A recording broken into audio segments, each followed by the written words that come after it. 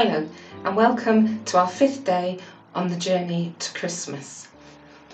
Have you ever seen a film trailer where they've taken snippets of the film to come and they've put them together to give you a flavour of what's to come in that film? Um, an anticipation for what for what you will see. They've almost given you a foretaste of the film.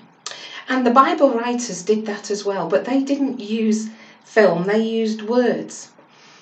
And in order for us to be able to unpack some of what they left for us, some of the foretaste they gave us of the Messiah and the coming kingdom, we need to understand a little bit of uh, the way that they did it.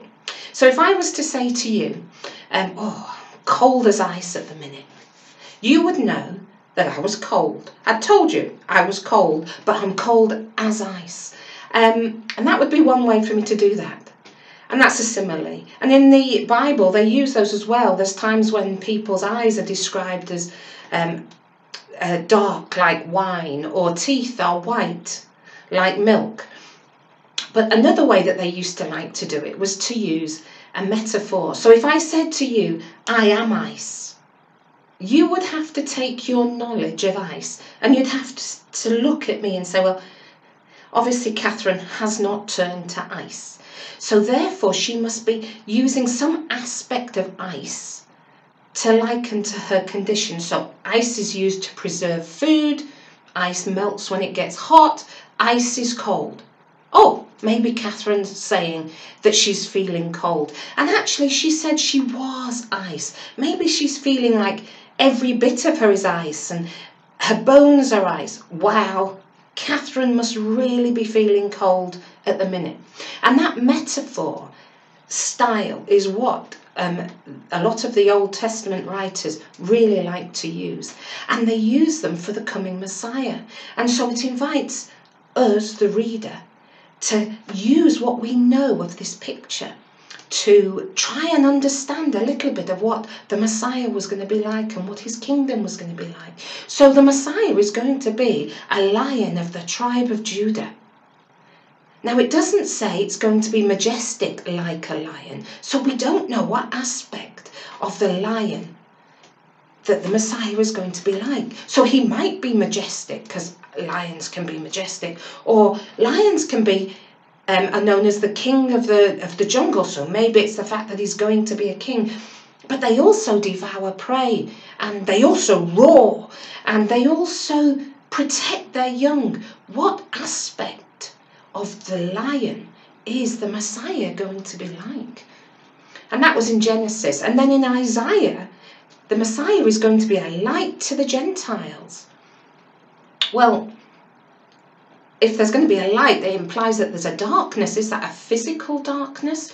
Or what kind of darkness would that be that would need a light? And what would it mean to be the light in this darkness, which maybe isn't a physical darkness? And so the writers are encouraging you to get to consider what does it mean to be light and then to ponder what would that mean for the Messiah? Then another one they use is the shepherd of the flock. So the Messiah is going to be a shepherd of the flock. Now, sometimes these prophecies had a dual meaning. They had a meaning for now, and they which was when it was written, and they had a meaning, or in the near future, for far in the future, prophet, prophetic um, further on. And um, David, when he was becoming king, was told that he was to be a shepherd of his people. Now, David had already been a shepherd of the sheep when he was younger.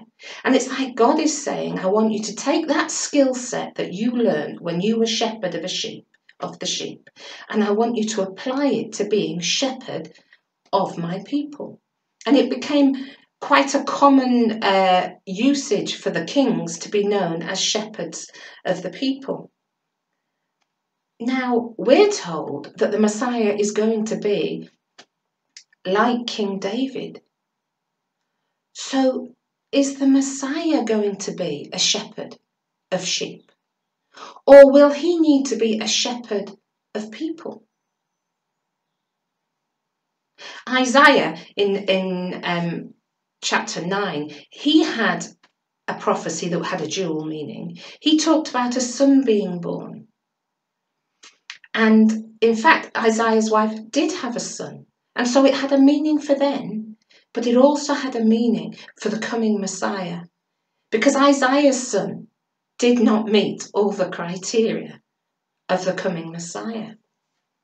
And so it can lead to difficulties of interpretation, people having different ideas about what it meant.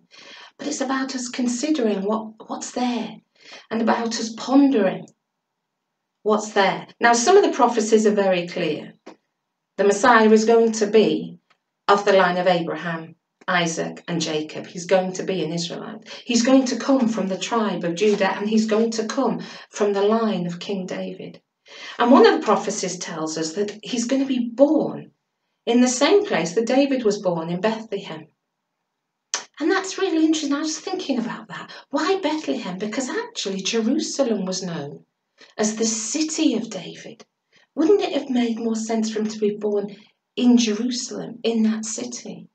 Or maybe, like King David, the Messiah is going to start off in Bethlehem, being born in Bethlehem. And at some point in the future, he will ride into Jerusalem, have a, a robe and a scepter and a crown, and be lifted up and claimed to be the King of the Jews in Jerusalem. Maybe that's a way that he will be a king, David. And so we are invited to consider these metaphors, these prophecies, these picture words that the Old Testament writers have put there. Um, and so we have other ones. There's a picture of the Messiah being a branch from the stump of Jesse. Is that just talking about his line, the descendant line that he's come from? Or can we look at that picture a little bit more and consider, well, what happens to a branch? Does it matter what kind of tree it is or what plant it becomes? Or what's the role of a branch? Isaiah said his Messiah would be a suffering servant. And do we need to consider what the role of a servant is? Well, who is this person, the Messiah, going to serve? How did rich people view servants? How did poor people view servants? Who would a servant spend their time with? And so we're invited to consider what it is to be a servant and to ponder what that might mean for the Messiah. Moses said the Messiah was going to be a prophet like him. Okay, so maybe we need to go back and consider Moses as a prophet, his role, what he did, and how will the Messiah be like that? There are other pictures um, of uh, the Passover lamb from Exodus and the Son of Man from Daniel 7. And Isaiah said that the government would be on the shoulders of the Messiah. What does that mean? What does that look like? It's a picture. And you, the, the reader, are being invited to consider what that picture might mean, to ponder what it might be for the Messiah to do that, to be the Prince of Peace Who's the king? Who are the subjects? And so, on this, our journey to Christmas, I invite you today to maybe pick one of those picture words that, that has been spoken about the coming Messiah and to ponder it. If you are creative, you might want to draw it, you might want to create it with your hands. Just start to consider what is the Messiah going to be like? What is his kingdom going to be like? Because there's been teasers put in the Old Testament for us to ponder and think about. And as Daniel said to Nebuchadnezzar, there is a God in heaven who reveals mysteries. So we're not doing this alone. And we can ask God to help us understand more, discover more of God's Messiah and his kingdom through some of these pictures today. Let's pray. Heavenly Father, we ask that you would help us to understand what your people were trying to communicate through these pictures, what it would mean for the Messiah, what it would mean for your kingdom. Holy Spirit, we pray that you would give us understanding today as we consider and ponder these things. Amen. Tomorrow, Chris is going to come and we're going to start in the New Testament in Luke. And that's it from me. So we'll just say the grace together and then I'll leave you to your pondering.